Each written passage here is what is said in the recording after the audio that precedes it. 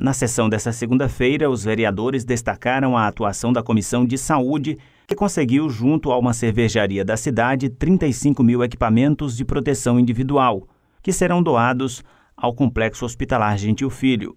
Colegas membros da Comissão de Saúde, vereador Gentil Oliveira, vereador Luiz Lacerda, e não poderia também deixar de lembrar do nosso saudoso colega o Areni Calvalcante, que, enquanto esteve aqui nessa casa, fez muito, não só pela nossa saúde, mas é, por toda a população da nossa cidade, por todas as áreas é, que possam ajudar a nossa população. Mas a Câmara Municipal, após pedido do vereador professor Chiquinho, pode abrir uma comissão parlamentar de inquérito, uma CPI, para investigar a Casa de Saúde e Maternidade de Caxias, da família Coutinho, depois que a vereadora Cíntia Lucena apontou em discurso da tribuna da casa que o estabelecimento de saúde recebe por mês mais de um milhão de reais de dinheiro público estadual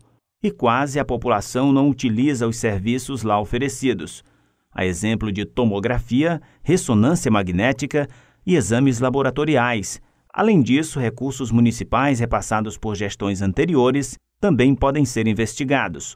Até exames laboratoriais. Eu não sabia, presidente, que na casa de saúde se fazia exame laboratorial pelo SUS. E eu fiquei surpresa. Porque eu não sabia, minha gente.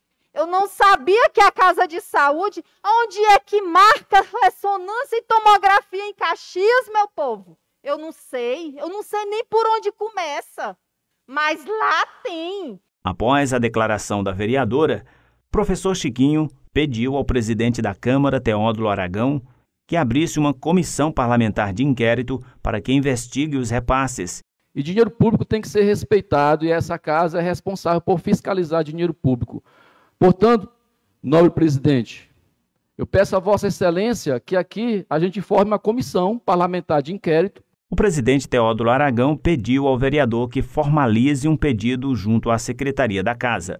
É, vereador, faça o pedido oficialmente e entregue à Secretaria para poder a gente encaminhar. Cíntia Lucena também destacou a dificuldade para regular pacientes do município para o hospital macro-regional.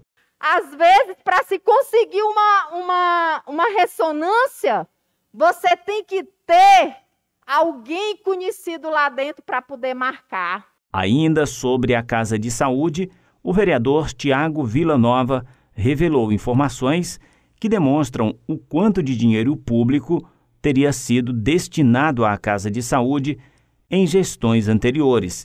Durante a gestão de, do saudoso Humberto Coutinho e durante a gestão de seu Léo Coutinho, esses repasses eram feitos diretamente da prefeitura para a Casa de Saúde. Após 2 de outubro de 2016, após a derrota do seu prefeito Léo Coutinho, esses repasses passaram, por volta do dia 10 de outubro, se eu não me engano, 2016, ele, exatamente, eles formularam um documento e passaram esses repasses direto do Estado para a Casa de Saúde, para que a, casa, para que a nossa prefeitura não pudesse estar investigando, não é isso? E nem interferindo no valor desse repasse.